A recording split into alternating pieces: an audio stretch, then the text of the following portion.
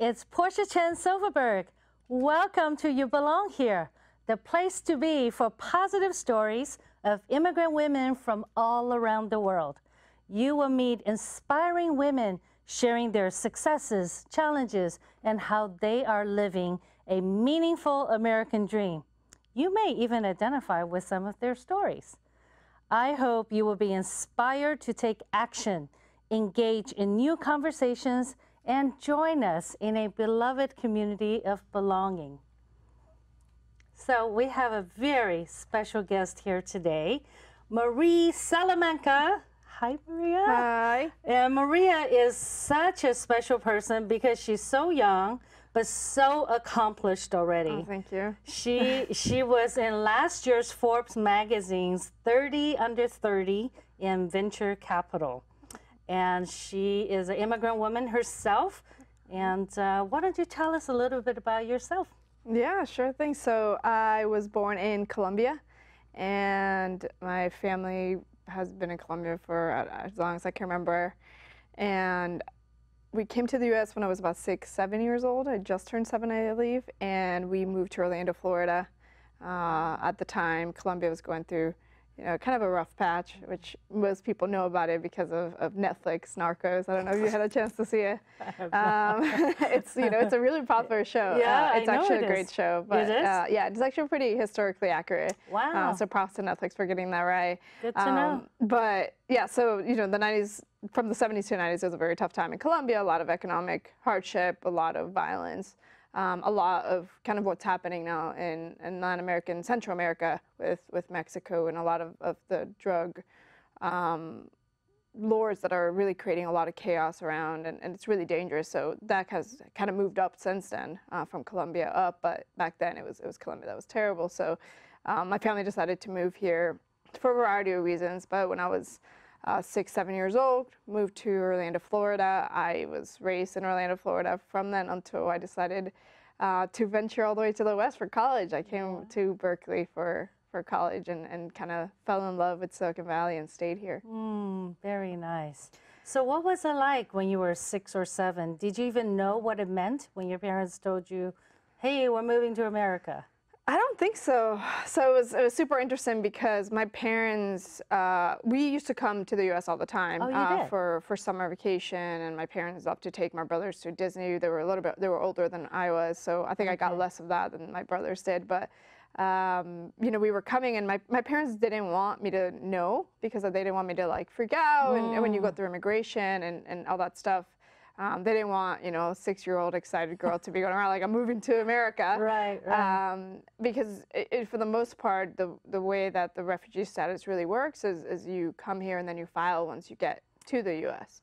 Um, and so they were just like, you know, we're going to Disney and you're going to have a great time. And so I think it was maybe six months into being in the U.S. that I was like, why are we here so long? and then they're like, oh yeah, we, we uh, you know, they had to have a conversation with me about whether, you know, we're actually Ah. thinking of staying here a little bit long term. And I was like really confused. Uh-huh, so I was sure. like, what are we gonna do here? Like, Sure. what? I mean, home is back home. Like, what do you mean we're Right. not going back home? Right. Oh. And did you officially say goodbye to friends or No, because? I wasn't. I You didn't know.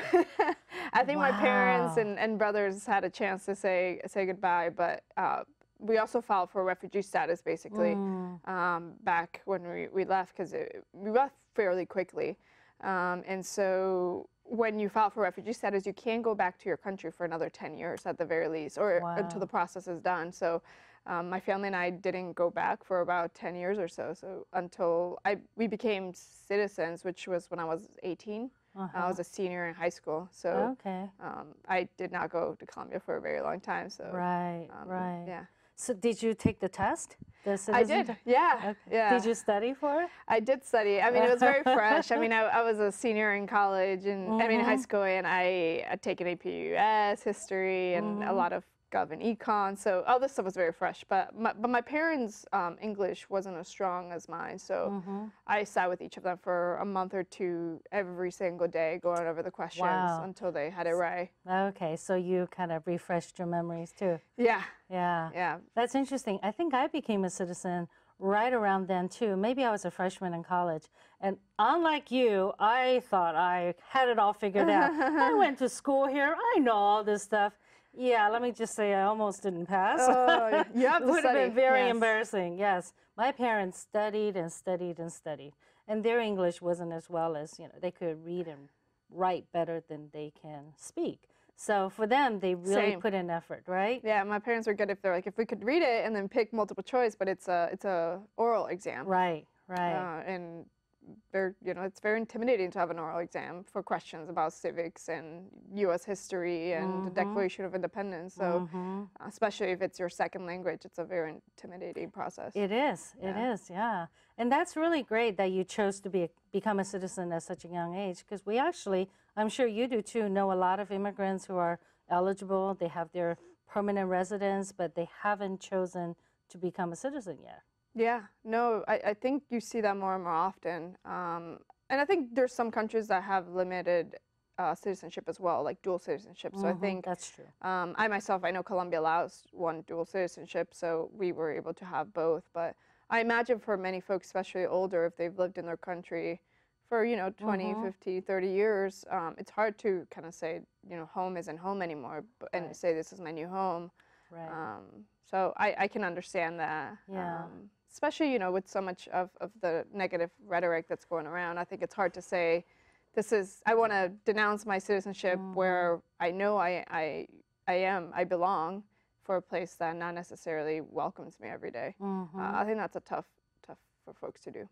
So, what was it like as a young person? You came, you were with your parents. So, was it easy because you were so young that you just kind of started going to school? And did you speak English? I did not speak English. no, okay. I what was didn't. that like? Um, so, I mean, we're in Florida, so I think it, it was interesting because Orlando has a, at the time, not as diverse, but it really does have a decent of amount of. I think it's the second biggest population of like Puerto Ricans, for example, in the U.S. after New York. Wow. Um, and so there was Spanish speaking, but I mean, for me, it was a shock. The Spanish was very different. Um, you know, the Caribbean. Spanish is different. So I, I had teachers that spoke completely different than I did. I mean, it wasn't different dialects per se, but um, it was different. And so I had to get used to that. And the education system in Florida can be a little bit tricky. Uh, Florida's not known for education, that's for sure. Uh, and so I was actually stuck in, in all Spanish classes for about two years, first grade and second grade. Oh, there so was no English. ESL. There was some immersion program, right? But okay. there was I wasn't learning any English because oh, everyone spoke Spanish, my teachers Right. and my peers. Right. So, what do you think about the uh, the ESL system? I mean, I'm sure there's better ways to do it.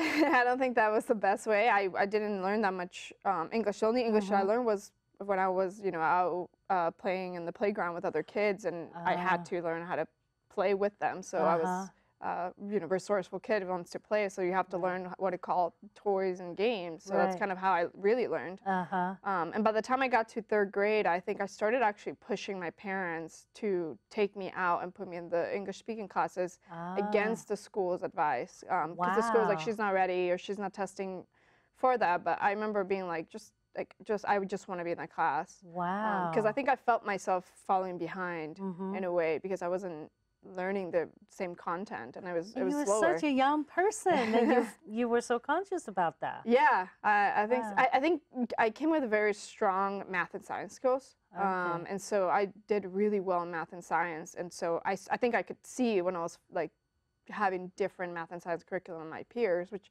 doesn't make sense to have just based on language, right? And I was, you know, it makes sense for me to be behind in reading, right? If I don't know the language, but not math and science. And I was finding myself getting easier content, and, and I was like, I don't want easier content in math or science. So I think that's why I started to get fr- uh, very flustered and, and asking my parents. And Wow. my parents didn't know much about the education system, so they were like, I mean, if you think you like want to get out of that class and go to a new one, like we'll sign whatever. So Wow, they trusted you. yeah, I mean, I, I think they they definitely didn't have much guidance, and they just yeah trusted me. But I Mhm. imagine not many parents or kids Mhm. will do the same. So hmm um, I got very lucky in that aspect. So, do you have some good pointers in helping people who are not speaking English or learning how to speak it?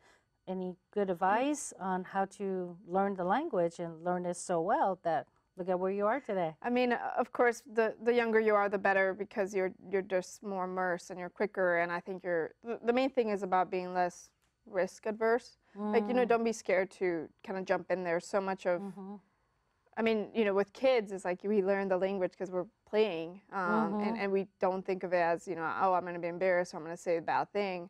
And you know, kids kids can be mean and say, you know, yeah, you don't so say you it like didn't that. have any of that experience. I mean, I'm sure I did. I'm sure I did. I remember um, the first time I heard uh, someone, like one of the kids was like going around calling this all everyone like, oh, you guys are nosy, like you guys are nosy, because I don't know, we were like talking to the teacher or something, like trying to Uh-huh. like figure out what the teacher, like who she was gonna give the attention to or something.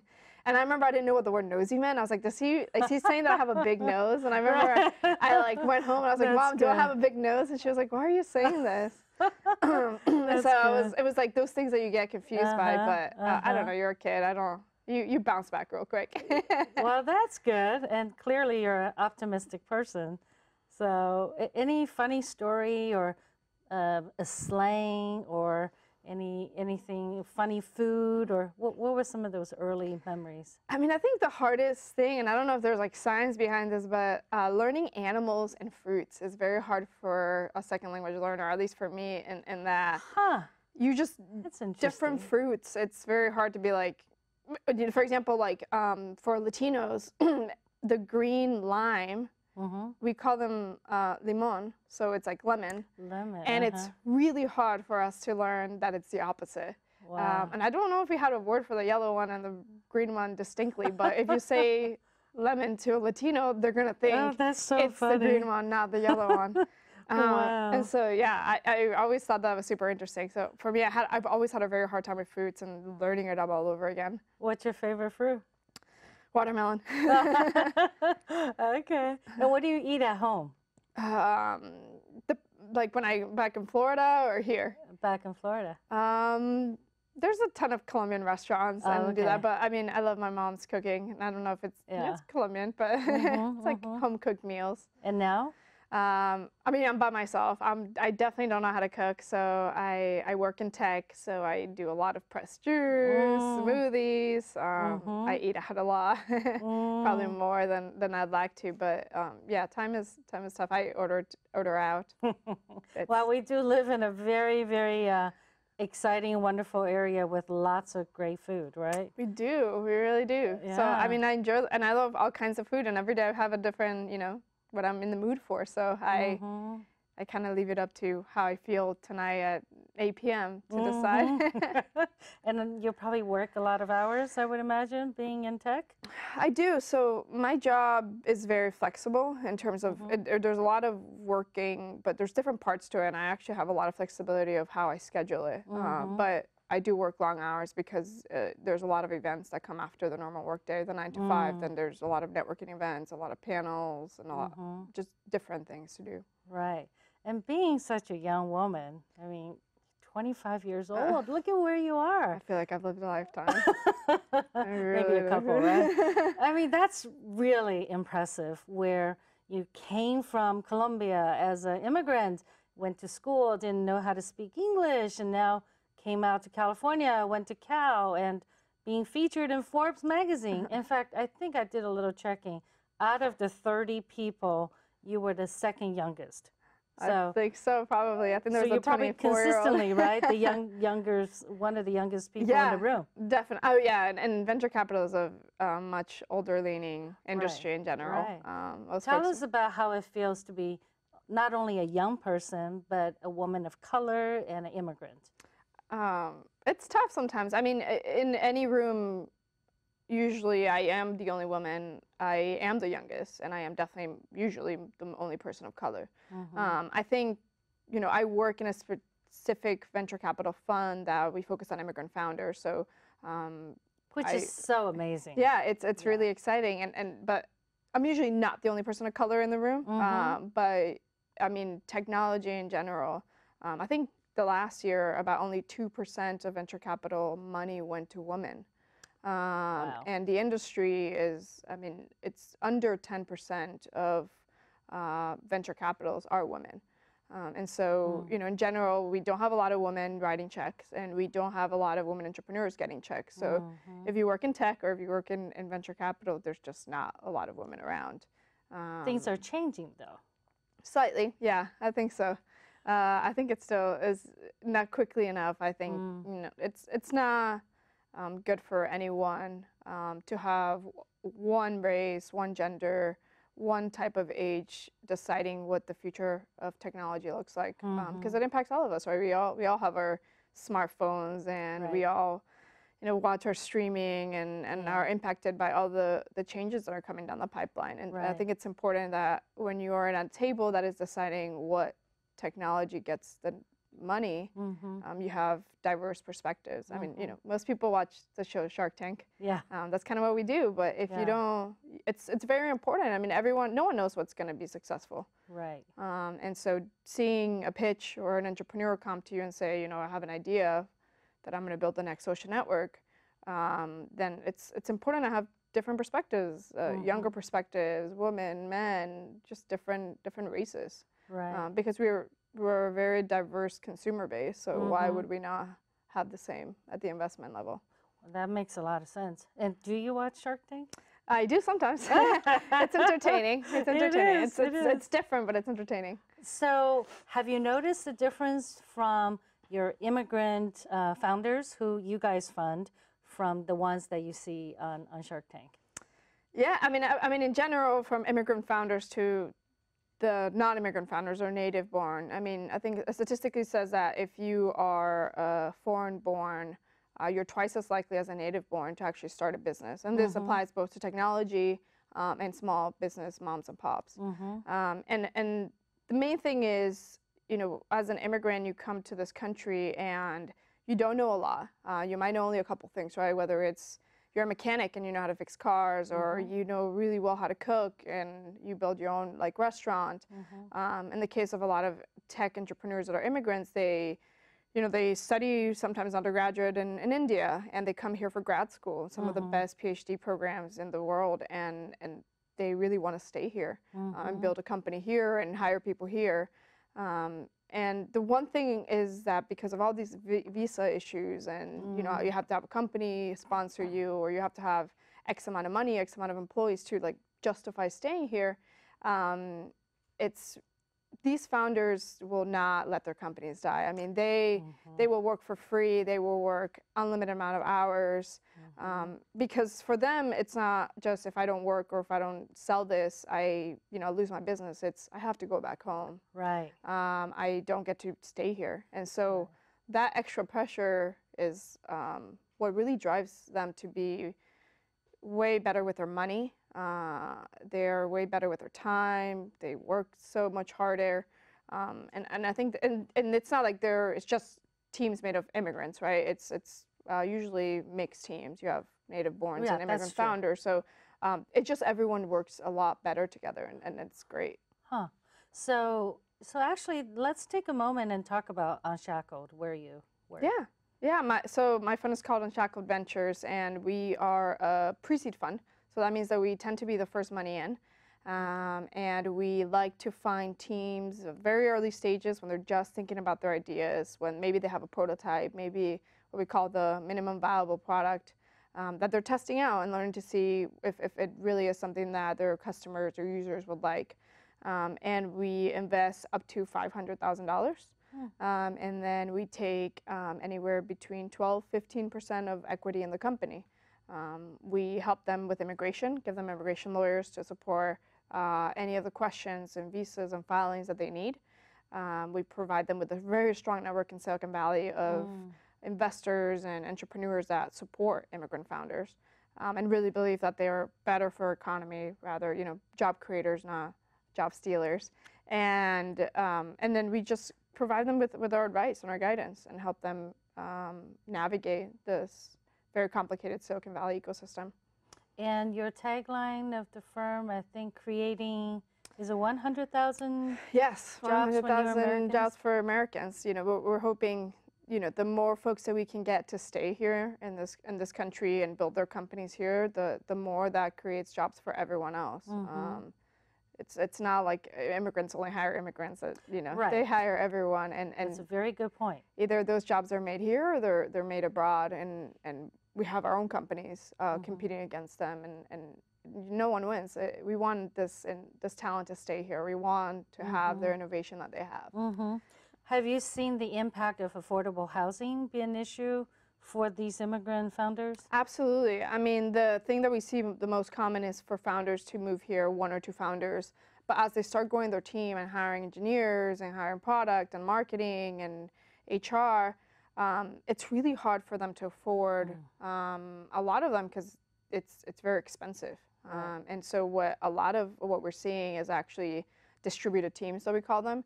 Um, and so you have teams that are now moving to Houston, to Dallas, Wow. Texas, to uh, Florida. A ton of folks are moving to Florida. Florida. Um, even Sacramento. Sacramento is a very popular place to have teams at. Um, and so what you see is you'll have one or two main founders, co-founders here in the Bay Area, and and their teams in engineering, and are anywhere else in the U.S. And sometimes they do have to hire uh, abroad um, if they can't afford what they have here. Um, and usually at the very beginning, early stages of the company, they don't have that much uh, money, but they still have to get a lot of work done. So uh, eventually, as they grow, they start kind of coming back to the to the Bay because, I mean, there's great talent here. It's just very Sure. expensive. Sure, I know. Yeah. And as you know, I worked so many years in the nonprofit industry, and uh, people in nonprofits are finding it very difficult too. I mean, teachers, teachers, teachers well. are uh, first responders, and you know, really, there's just so many people who are actually middle class that can't afford to stay here either. It's awful. Which is, uh, yeah, I know. Do you have any good suggestions, or in your opinion?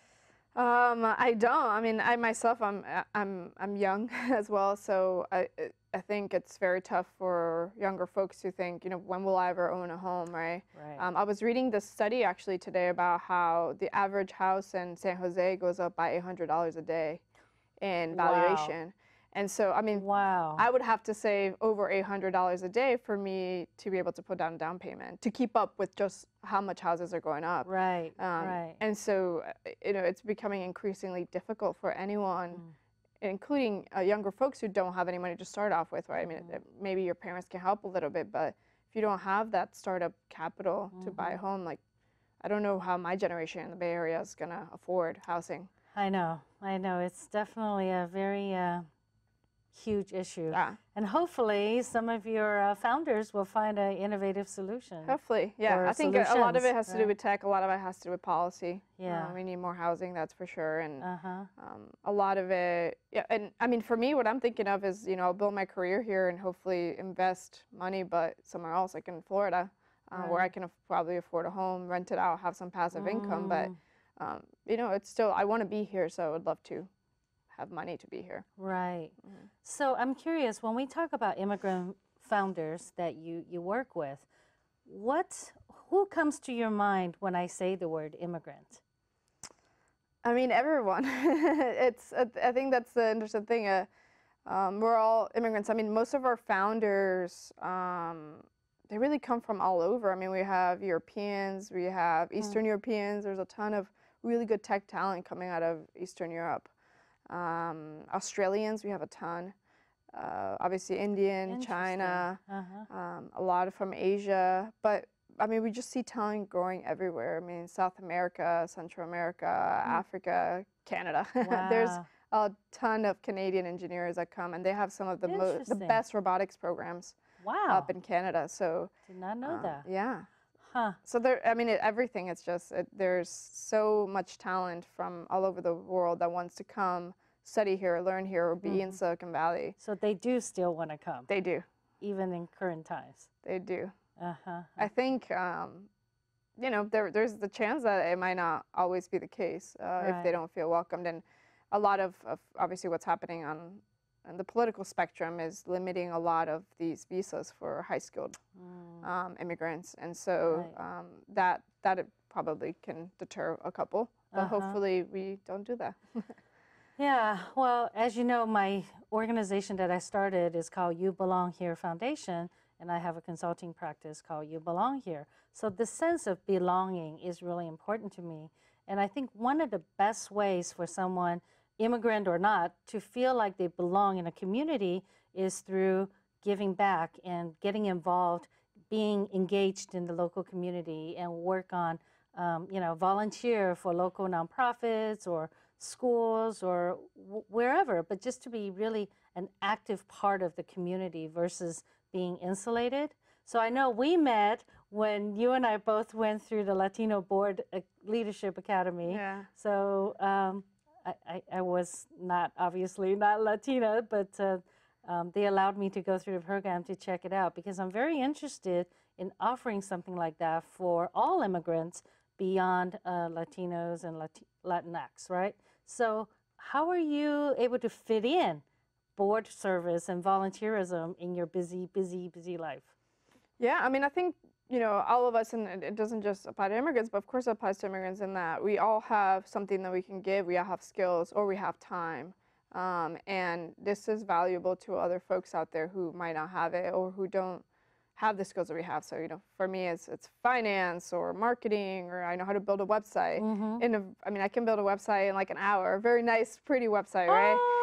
And so for me, it's like that's not a lot for me, but I know a right. lot of folks out there, small businesses right. or nonprofits, could use that. Sure. Um, and everyone has that. Uh, sure. There's something that they're good at. I mean, I'm terrible, terrible at event planning, but so many folks out there love event planning, and that right. is really, and they love bringing people together and mm-hmm. cooking mm-hmm. and having events. So um, everyone has something to give in that way.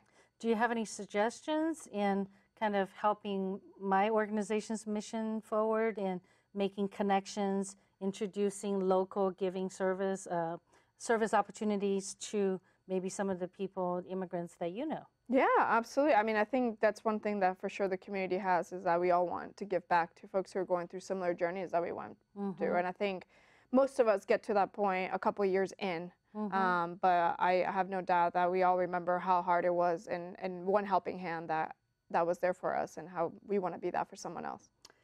There's so much more I want to ask you, but of course, our, our time is just about up. I want to give a special shout out to Facing History, a wonderful nonprofit in uh, San Francisco. Well, actually, it's a national organization. So I was at an event last night and was able to uh, take this beautiful, beautiful. table piece back, and I want to give him a shout out.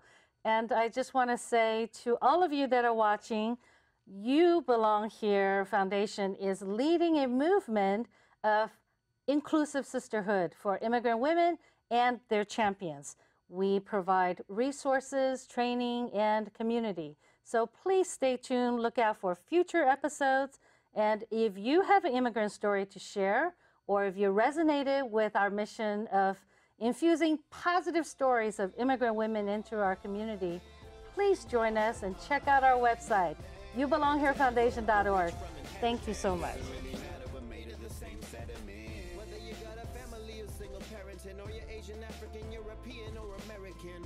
Pray to God or atheist is irrelevant. Cause what you got inside is the same as all your preference.